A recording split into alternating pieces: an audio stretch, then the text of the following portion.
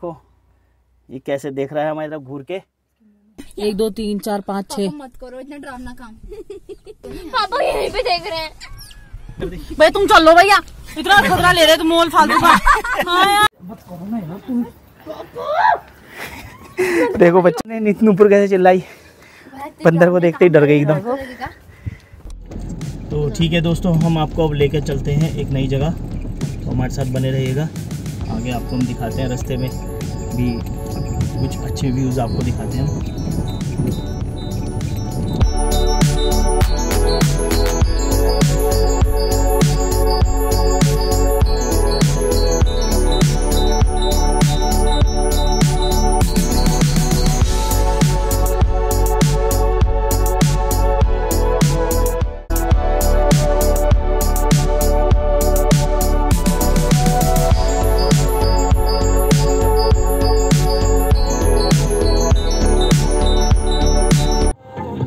देखो दोस्तों, आपने डी डी पिक्चर में इस तरह के देखे होंगे सरसों के खेत। और देखिए, आज मैं आपको दिखाता हूँ थर्नो रूट पर। ये देखिए, कितने प्यारे सरसों के खेत आपको सामने नज़र आ रहे होंगे। पूरा दूर दूर तक लगभग मेरा जो आइडिया है, ये आठ दस बीघा में सरसों का खेती खेत बहुत ही सुंदर लग रहा है।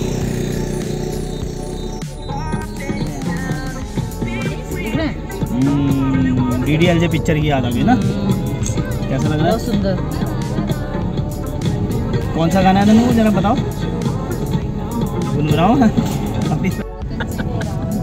देखो इस तरह से भी अनट्रेंड लोगों को पहाड़ों में गाड़ी नहीं चलानी चाहिए। इन आंटी ने देखो पाँव ही पूरे नीचे कर दिए। ये देखो।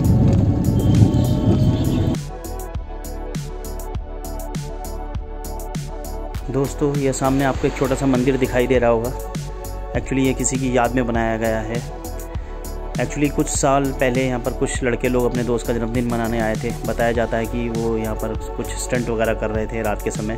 और अचानक गाड़ी पलट गई और उसमें आग लग गई और उसमें कोई भी बच नहीं पाया। तो दोस्तों, गाड़ी आपको सामने दिख रही होगी, आज भी यहीं पर है। तो दोस्तों सावधानी पूर्वक गाड़ी चलाएँ। आपके घर वाले आपका वेट कर रहे हैं। उत्तराखंड आएँ तो भी पहाड़ों में बिल्कुल सावधानी पूर्वक गाड़ी चलाएँ। आपसे यही रिक्वेस्ट है।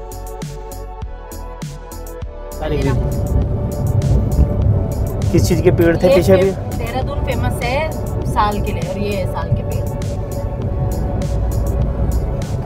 ये सब थानो रोड पे है ना? ये इस पे लिखा है नदी का जलस्तर बढ़ने पर मार्ग का उपयोग ना करें।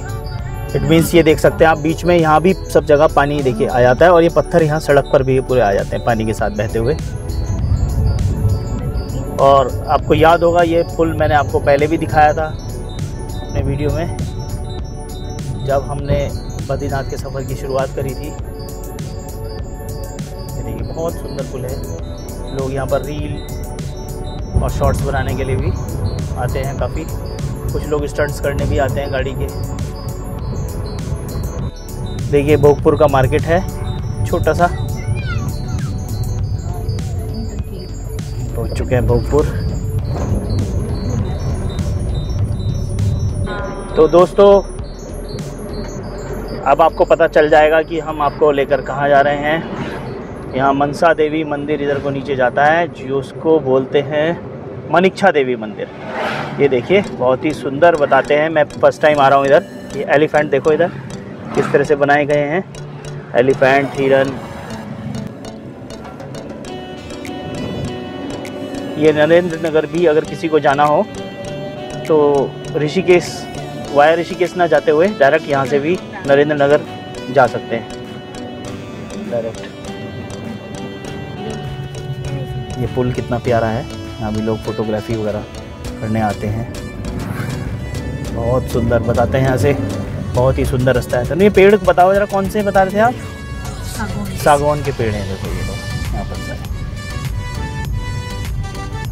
और ये बताते हैं हाथी बहुल्य क्षेत्र भी है ये। इनसे पूछना पड़ेगा। उन- क्योंकि हमें आइडिया नहीं ना कि कहाँ पे है क्या है। तो चलो पूछ लेना ठीक रहता है।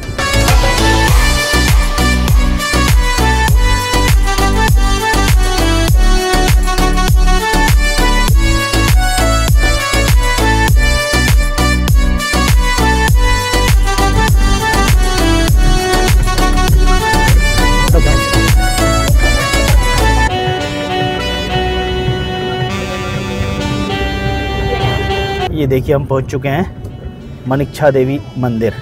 यहाँ से इसका प्रवेश द्वार है मंदिर का। बहुत ही सुंदर।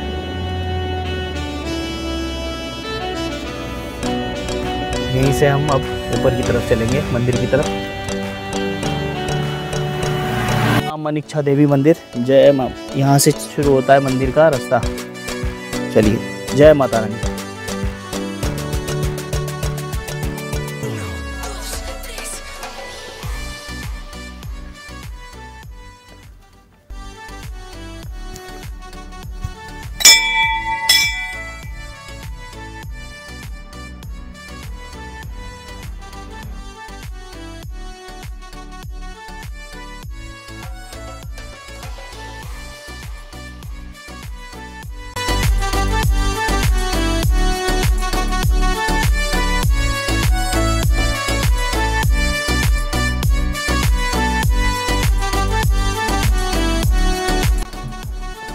माँ मनिक्षा देवी मंदिर का ये रास्ता काफ़ी चढ़ाई भी है इस रास्ते पे। और आप देख सकते हैं, कुछ लोगों ने जगह जगह ये चुन्नी उन्नी बांधी हुई है। हो सकता है उन्होंने अपनी यहाँ कुछ मन की इच्छा ज़ाहिर की हो। और बताते हैं, चलें आपको कि लोगों की मन की इच्छा की पूर्ति भी करती है माँ। कैसा लग रहा है? बहुत सुंदर। और चढ़ाई कैसी लग रही है? बहुत कठिन। अभी तो शुरुआत है। अभी मुझे भी नहीं मालूम हम भी फ़र्स्ट टाइम ही यार मैं भी फ़र्स्ट टाइम आ रहा हूँ। तुम्हारे ही साथ आ रहा हूँ देखो। हाँ हाँ। थोड़ा हम्म।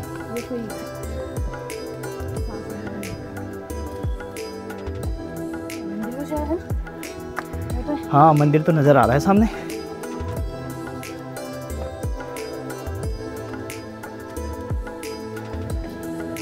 यहाँ से देखिए सामने नज़र आ रहा है मेन रोड और ये सामने मंदिर। ज़्यादा नहीं लगभग डेढ़ सौ मीटर के आसपास होगा। प्यास लग गई। हाँ? चलो पानी पियो। नूपुर तुम्हें। देखो। कैमरे से शर्मा रही है।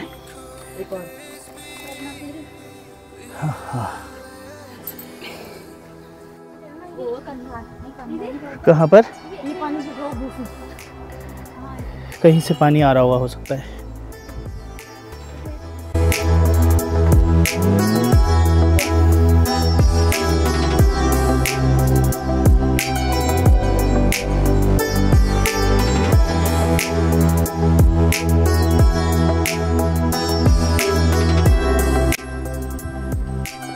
सकते हैं आप मेरे सामने। ये बरगद का पेड़।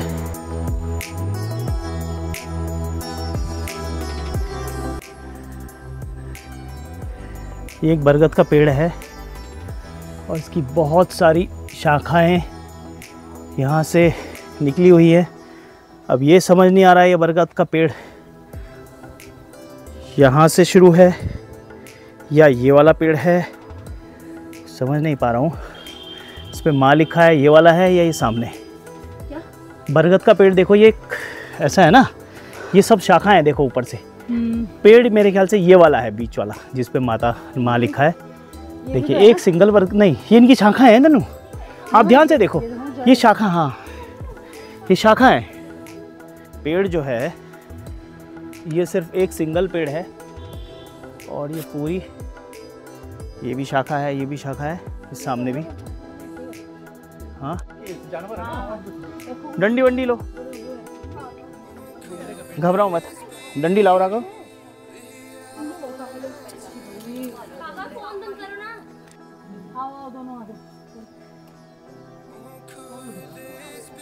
चलो, डंडी ले लो, बस कुछ नहीं कुछ नहीं कहेगा।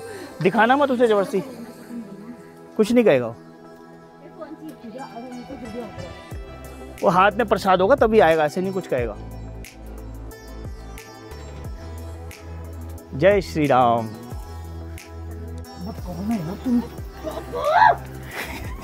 देखो बच्चे ने नित ऊपर कैसे चिल्लाई? बंदर को देखते ही डर गई एकदम। और ये पहुँच चुके हैं हम माँ मनिक्षा देवी मंदिर।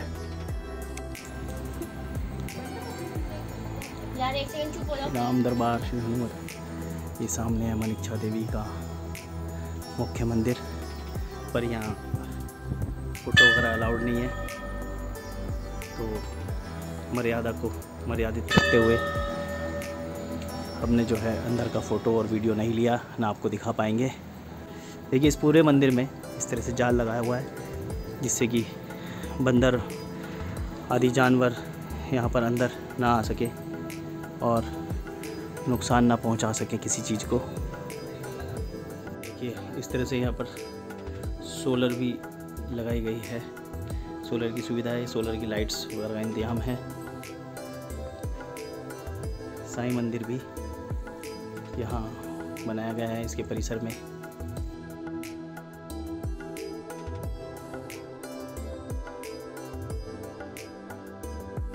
जी।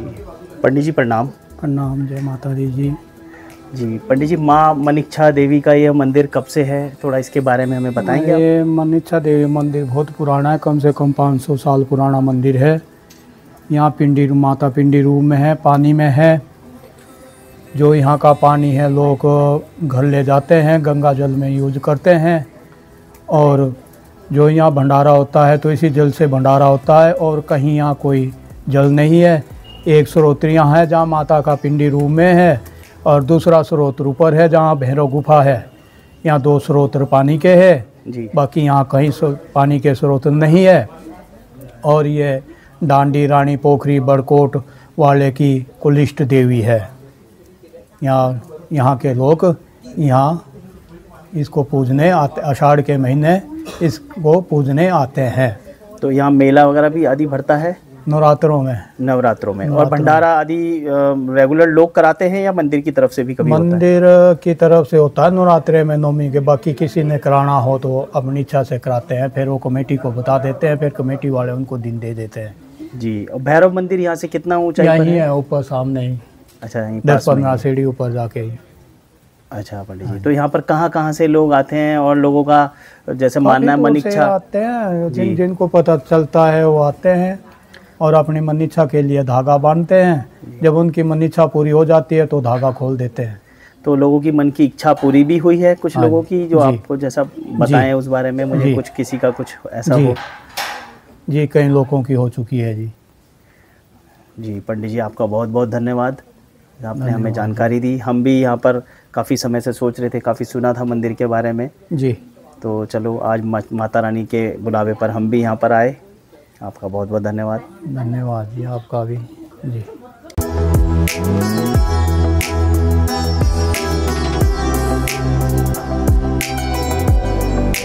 ये आप देख सकते हैं ये मंदिर का प्रांगण है।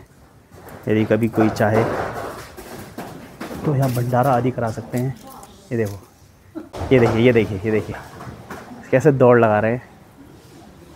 देखिए, माँ मनीक्षा देवी मंदिर में आपका स्वागत है लिखा है और इस मंदिर के बारे में थोड़ी सी यहाँ पर जानकारी दी गई है। अगर आप चाहेंगे तो यहाँ का स्क्रीनशॉट लेकर भी इसको पढ़ सकते हैं।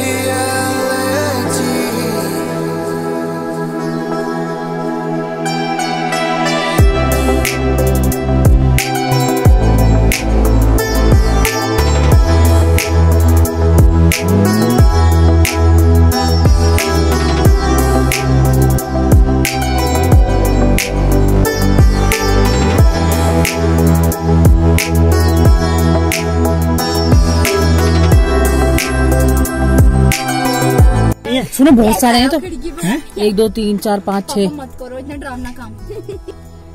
हूँ हल्का सा खोल देखो फेंक दो। पापा यहीं पे देख रहे हैं। बंद हल्का सा तन्नू बहुत बाहर करा बहुत करा हो तूने। छोटे बच्चों को समझ ही नहीं आ रहा। खाना पापा! बंद कर बंद कर बंद बंद कर करो मम्मी। बंद कर दे भाई तुम चलो भैया। इतना खतरा ले रहे तुम मोल फालतू का। हाँ यार। बंद कर वीडियो। मैं नहीं बनाना तो दोस्तों आज हमने आपको माँ मन इच्छा देवी मंदिर के दर्शन कराए और हमने सभी दोस्तों के लिए कामना करी कि वह स्वस्थ रहें और खुश रहें। तो दोस्तों, इसी के साथ हम विदा लेते हैं। जल्द ही आपको मिलेंगे नेक्स्ट वीडियो के साथ और हमारा यह चैनल, आपका अपना चैनल है, इसको लाइक और सब्सक्राइब करना ना भूलें। धन्यवाद।